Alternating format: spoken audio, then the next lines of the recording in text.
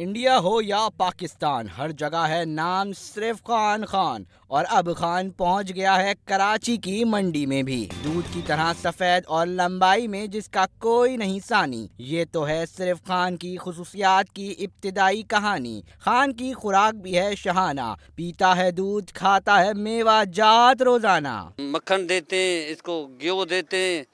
वो गाय इसको देते ज्वारी देते इसका बहुत बड़ा खर्चा है इसको खान के इतने हैं ठाट बाट तभी तो कीमत भी लगी है खूब पैंतीस लाख रुपए में फ़रोख करने का है मालिक का ख्वाब देखने वाले कहते हैं कि खान को ख़रीदने वाले का जिगर भी खान जैसा ही होना चाहिए समझ तो आ रहा है जानवर लेकिन ले कैसे लें पैंतीस लाख भी तो हैं कुत खरीद नहीं तो क्या हुआ नौजवान और बच्चे खान के साथ खूब सेल्फियां लेती हैं डर है कि कहीं माल एक सेल्फी की भी कीमत मुकर्र ना कर दे कैमरामैन नुमान सईद के हमरा अली रजा ट्वेंटी न्यूज़ कराची